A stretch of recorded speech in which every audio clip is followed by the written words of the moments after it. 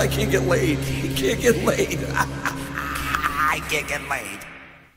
What's going on, everyone? Welcome back to the channel. It's your boy, Dead on Dave, and by that wonderful intro by the one and only Ken Morrison, you know who's here. And if you now, if you didn't know who it was, you can see him on the screen because he is bold and beautiful and Arabic. It's the magnificent. That's what we have to call him now. The magnificent Matt Cassar. How you doing, Mr. Matt? I appreciate you joining me right here on Five Random Oh. Questions. Thanks for having me, and you guys are going to listen to my awkward, nasally Canadian voice for the next 20 minutes. So, congratulations. We all uh, win in life from that, so that's exciting. Uh, if you've been paying attention, you've seen that we've gone ahead and basically gone through the entire shot from the point team in five random questions, except for uh, Tommy C himself. And uh, most of that's out of design. I mean, other than not being able to link up with Tommy because he's so busy now. Now he's in so hot demand. No time for me. No, I'm just kidding. Uh, but I purposely saved Matt for the end. Uh, I have this fascination with Matt Cassar. I mean, look at him for one. He's a, just a gorgeous hunk of man meat. Look at this kid.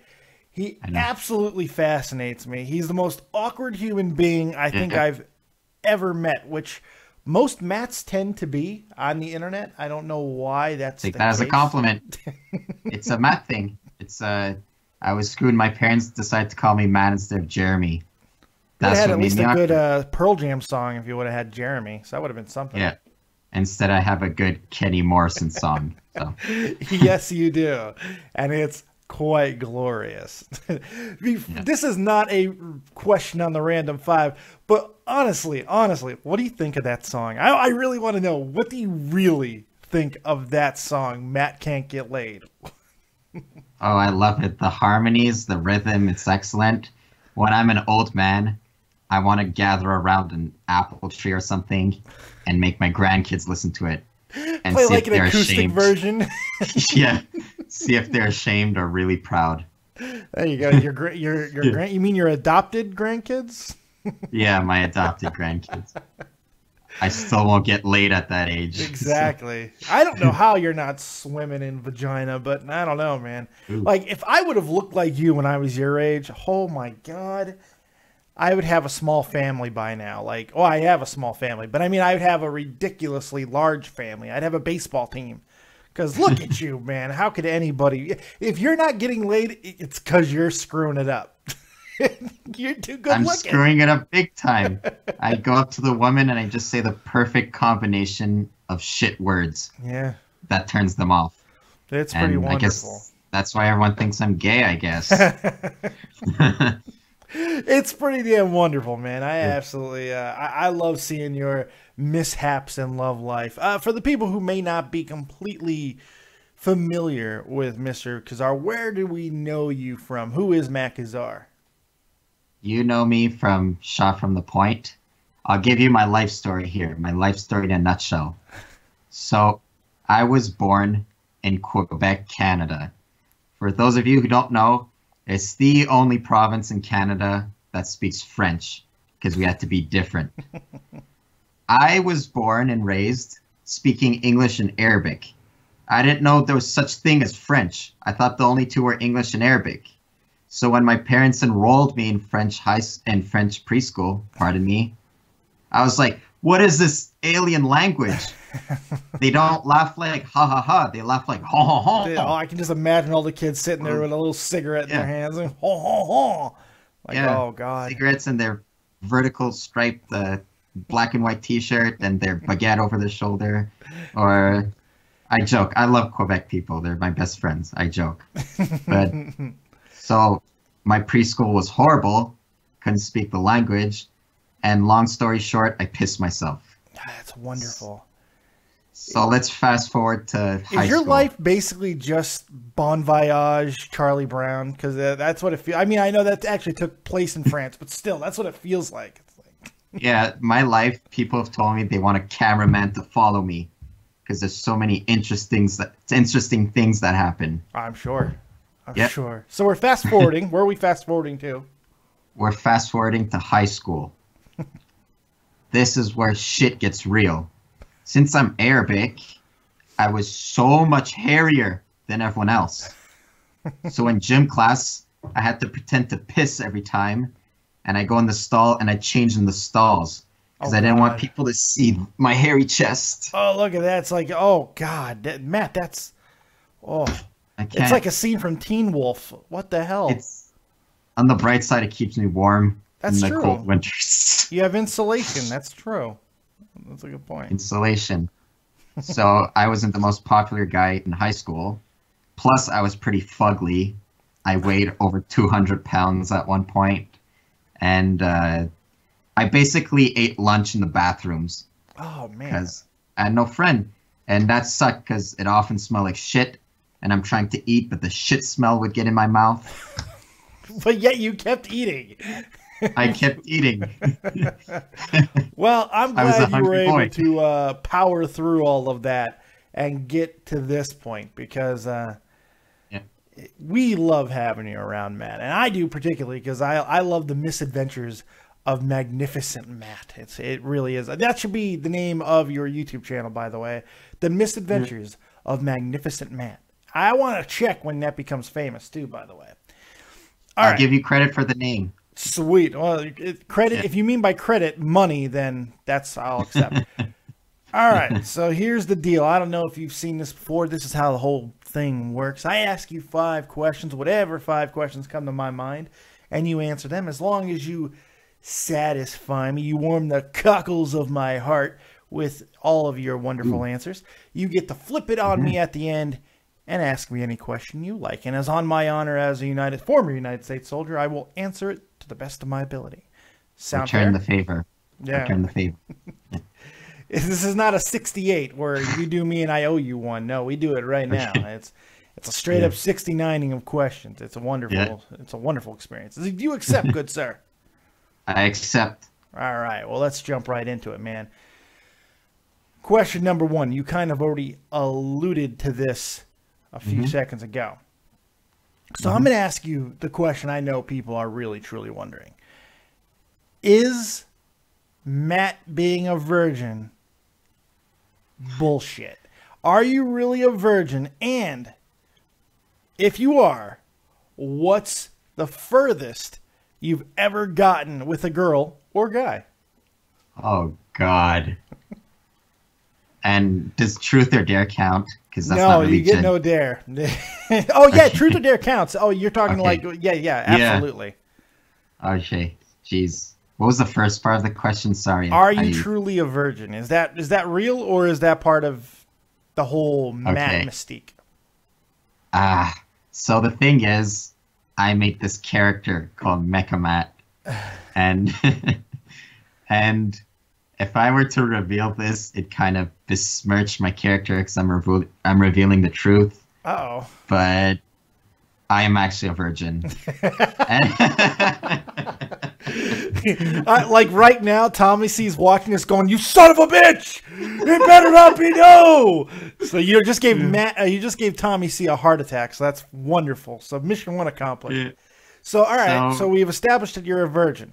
That's hundred Yeah. percent true. yeah. Well, Like, how far most- have you gotten? Well, the thing is, let me just elaborate on the last part. Go ahead. Most guys my age, they wanted to give up their V cards so fast. And I was like, I'd rather go home and play Donkey Kong. I don't know what's wrong with me. It's Donkey not I'm not gay. I'm not gay. It's just at the bottom of my priority list. It'll happen one day. Yeah. So the furthest I've ever gotten with a girl. Yes. Or guy, no judgment. Okay, so off the top of my head, um, this girl in my high school was being really, really Can I swear? Yes, of course. She was being cunty with me. really not a nice person. And I went upstairs in the chapel to play piano alone. And what I think that happened is that another friend told the cunty girl, dude, why are you being such a dick to him? So she felt bad. So she followed me up to the chapel. And while I was playing Beethoven, she grabbed my cock, which is oh. not part of the song. No, it's not part of the song. That, as far as I know, that was never written in the music sheet. Yeah. No, it wasn't. So, also, a lot of it was in Truth or Dare, because that's when they didn't have a choice. And, you know, people dared me to kiss girls. I did it. People dared me to kiss guys. I did it. Oh, you know, shit. just yeah, that, that's something I'm not proud of. But what are you gonna do? And what are you gonna do? What are you gonna do? Indeed. Well, at least somebody has touched your penis, and that's a good thing. I'm I'm happy to hear Yeah. that. I mean, My it's clothed penis. I a, might yeah, your add. clothes penis, but but still, I mean, to happen in a chapel whilst pounding out Beethoven, that's that's an experience right there. I like that. So it's, when- it's classy. Whenever I play that song in my house, when I get to the part where she grabs my cock, I just randomly get a boner Yeah, the song. for the rest of your life. That's that's hundred percent. That's what's gonna be. Oh God, what a predilection! That's fantastic. Okay, good answer. Yeah. yeah, we, we've set the tone now. All right. Question number two. Now, I don't know if this is something you necessarily wanted to be public knowledge. I know Tommy's talked about it before, so it shouldn't be a big deal. Yeah. Um, Something that not everybody may know about you is that you are on your way to a nice, upstanding career in the field of pharmacy. You're going to become a pharmacist. With everything else that you do, man, playing piano, being this hockey savant, uh, with the, all the things you know about that sport, your podcasting resume that's starting to grow, all these things, you seem to have a passion for sports radio as well. Why pharmacy? I, I, am always trying to wrap my mind. You seem like a guy, literally, and I'm not bullshitting here. You seem like a guy who could literally do whatever he wants to do. So why pharmaceuticals? Because I, I I question that. Yeah. So my two main interests, I would say, the, the top two would be hockey and music. Yeah. They're interchangeable. So there's this TV show that we have in Quebec. It's called The Antechamber. I, I don't know who I've heard made of up it. the name. Yeah. Yeah, it's basically these four guys.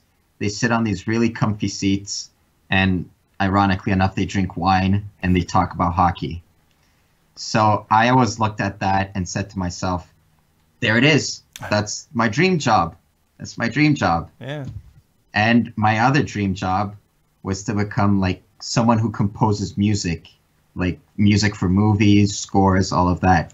Ah, John Williams up in the house. Yeah. John Williams. And I was this close to doing it. Really? but I I had to have a really really long talk with my dad, where he basically said, "You can do whatever you want, but out of the thousands and thousands and thousands of people who want to go on sports radio, how many actually make it? Oh. There's always going to be someone better looking, someone who speaks better, Oh. someone who knows his shit better."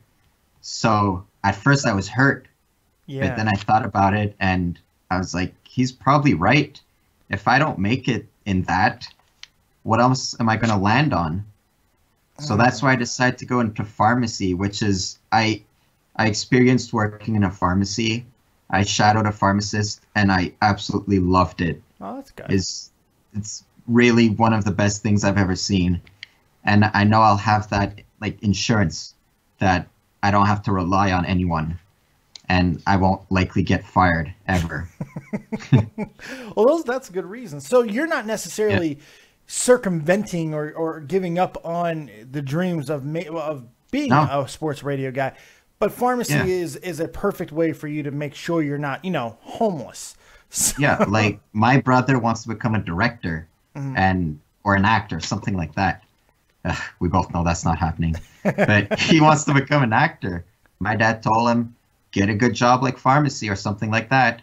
And once you get it, that's when you can venture into becoming an actor. So if you fail, you can always land back on another job. Yeah.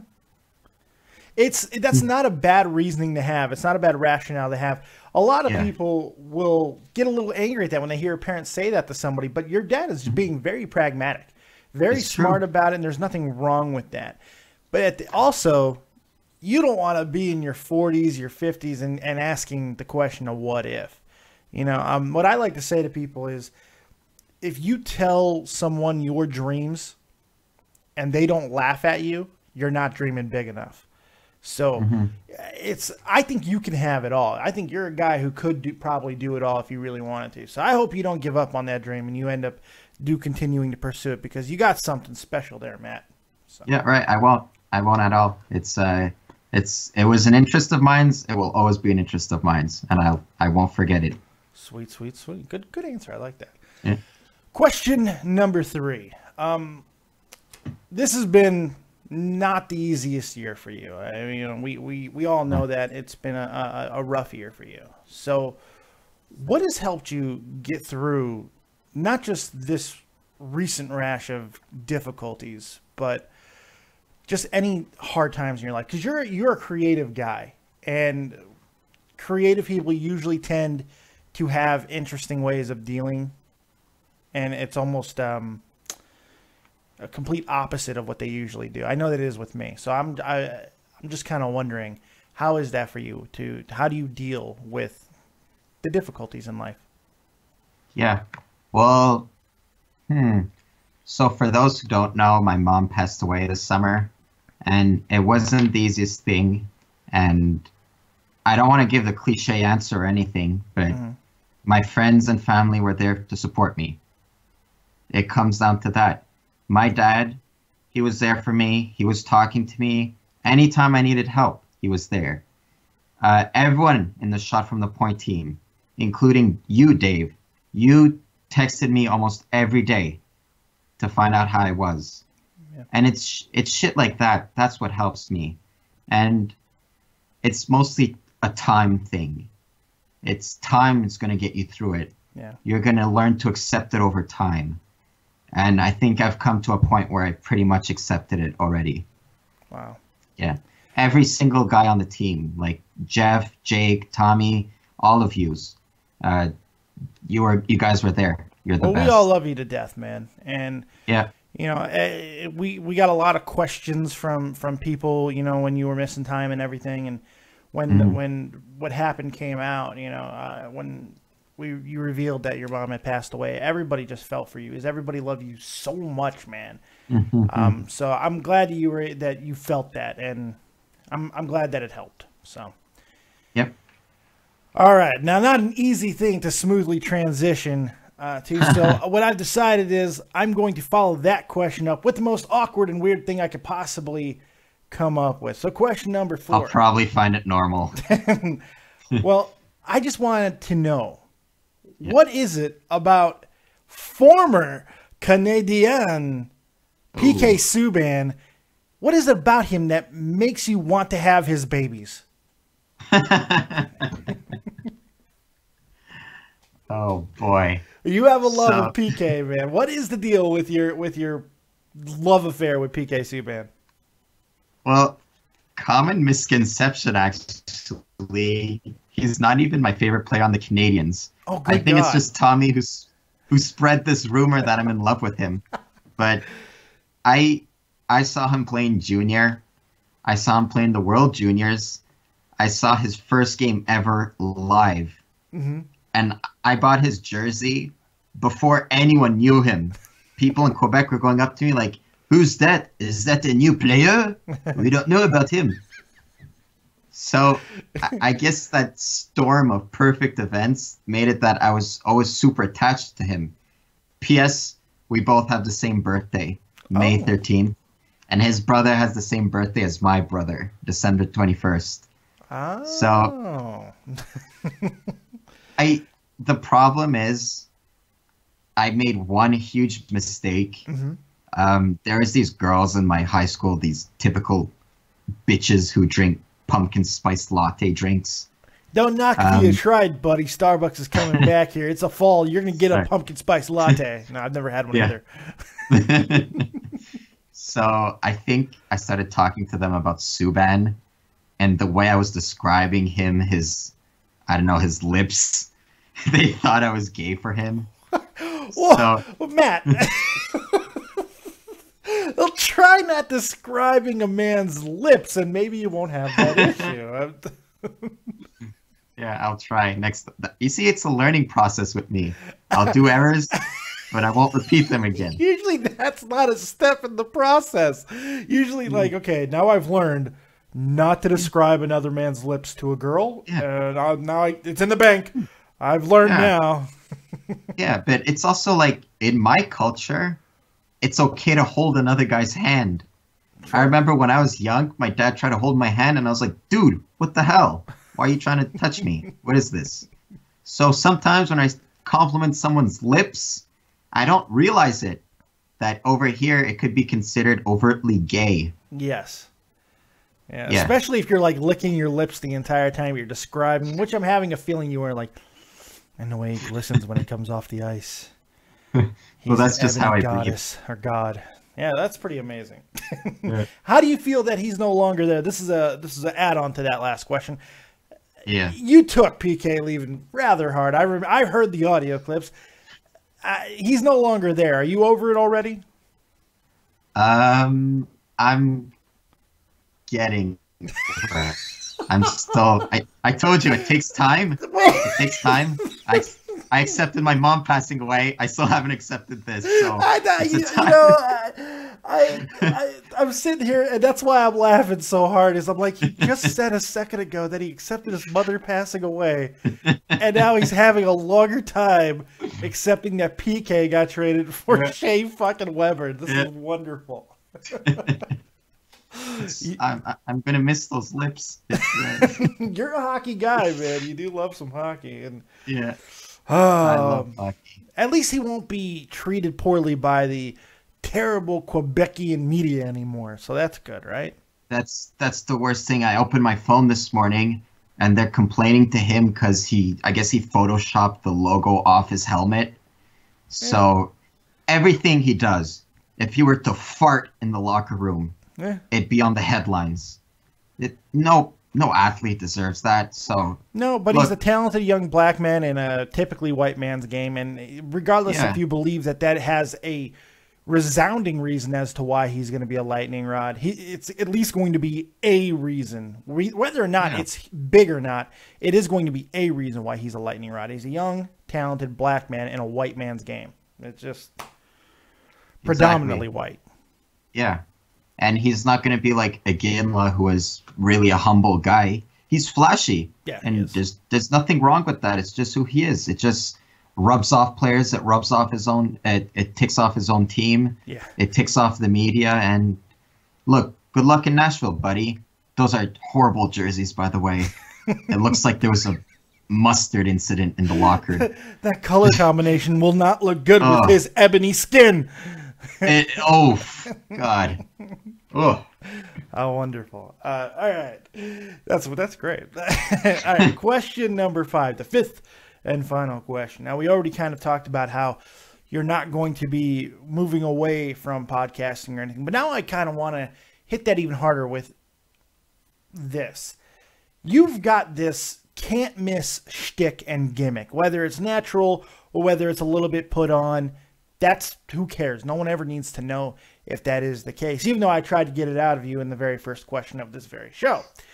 So the question is, and it's more of a pleading from me tell me that there is a plan in place, even with you getting your pharmaceutical degree, to do more podcasting. That you're going to, in the next year, we're going to see the Matt Cassar show, something happening going forward. Because I'm telling you, man, I understand where your dad's coming from, but you've got a Yeah. special quality that will at least get you over to a mass amount of people in YouTube. See, like me, Tommy C, guys like that, we're not mass appeal guys. Tommy's always going to put people off because of his New Yorkian thing. He's going to play to a large, sensible crowd and stuff because, you know, a lot of East Coasters listen to stuff like that. So they're they're with it. Me, I I'm fat, so I'm fucked. You have got this wonderful balance of so many things. You are a good God, you're a good-looking kid. You have an amazing speaking ability. You're smart, you're witty, you're funny. You are a can't miss goddamn prospect. If I was drafting a YouTube team, you would be my top overall pick because you have those abilities. So please tell me we're going to be getting something more out of you in the next year when it comes to podcasting. Mechamat ain't going anywhere, baby. That's fucking right. Boom! The- right in the baby I- maker. It's right now I'm in pain because I've had so much work at school. It's my graduate program. It's and I see everyone and I'm like, God, I want to be there with you guys, but I've had so much work and I've started doing videos myself. I have a channel and with zero videos. I've started making videos, but I've abandoned halfway just because when I'm almost done, a teacher would give me a huge project to do. but I'm telling you, whenever I have a free time, I am gonna give everything I got, both uh, both as financially and whatever. I'm gonna do every- everything for the. That's what I'm talking about. That's what I'm talking about. Yeah. Because we definitely want to see that. And if there's anything I could do to help that process along, you make sure you tell me, okay? Yes, sir. That's what I'm talking And d- don't don't call yourself fat anymore. You're you're becoming Slim Jim now. I, I'm, I'm You- you've lost all that weight. 313. I'm still fat as hell. I, got a long way to go, but I appreciate that. well, you're not as fat as before. I guess I don't know what to say. I'm not as fat. I am Yeah. still fat, but not as fat. That's true. And I am on the right path, so I appreciate that. Okay. Those were all five of my questions, and I think that you answered them all wonderfully. So, I leave it to you. I think you've earned this ah. right. Ask any question you like, and I will answer it 100% honestly. All right. And like one question. One question, and you know, I mean, if if it's a Okay. if it's a two-parter or whatever, I'm okay with that. But you know, don't try to get me to assemble a baseball team like Frenchie fucking Ben did the other night. Jesus. Huh. Huh.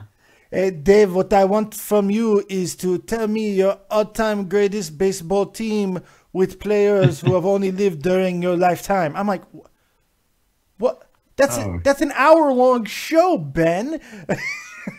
I'm not doing that. So as long as you don't have something like that, we're good. Oh, I, I didn't think of a question. Hold on, let me think. Should have prepared. All right, so every guy has one pass, one exception. Another guy that they would fuck. It doesn't mean they're gay, Uh huh. but there's there's that one guy they'll make an exception for. Mhm. Mine is the singer of My Chemical Romance. Okay. Who would be yours? Well, I've had no problems embracing my sexuality. I, uh, I've said this on my channel many, many times that I would let Roman Reigns wear me like a canoe. I would let him hollow me out. I have no problem with that. Uh, I've had many man crushes in my life. David Boreanaz was one of my first. Yeah. I love David Boreanaz. That's a good looking guy, man. Angel, come on, dude, and get, it, get the fuck Yeah. out of here. Uh, Richard Gere. I that man aged about as well. I mean, he's been great since he was like 25 years old, but just as magnificent nobility about his looks. He's another one. Basically, I'm just I can go through a Yeah. list of all the guys that I would let fuck me in the ass. Basically, I mean that's where I'm that's where I'm going with this. Uh, but uh, currently, I don't give a shit about his wrestling ability and anything like that. Roman Reigns, that is a good looking man. So it's Roman Reigns. Yeah. Yeah, you see, I wouldn't go for a, a wrestler because he'd probably bruise me and I wouldn't be able to walk. So I go for the more feminine rock star type. I'd go for the Freddie Mercury type. That's where I'm going. oh no, he has a mustache and that shit's prickly.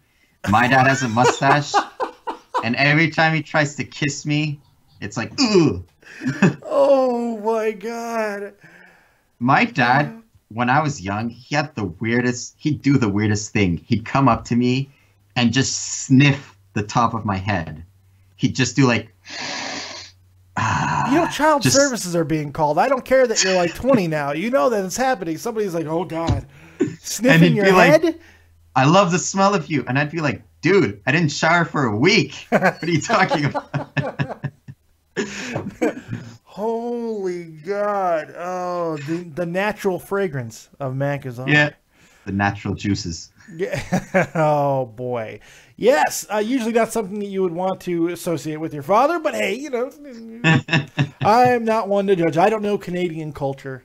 I'm just, Yeah. I'm just a Chicago boy. It- what can I say? It's a nothing culture. That's just him. But that's pretty awesome, man. Uh, Yeah. Hey, look, I think that was wonderful. I appreciate uh, being here and answering all the questions wonderfully. Is there anything else that you would like to tell the people about what's going on in your life? Anything that you want to plug or anything like that, or anything else you want to talk about before we get out of here?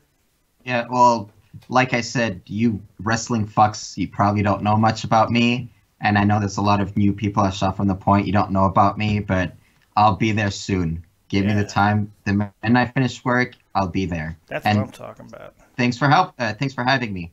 It's No problem, a lot of man.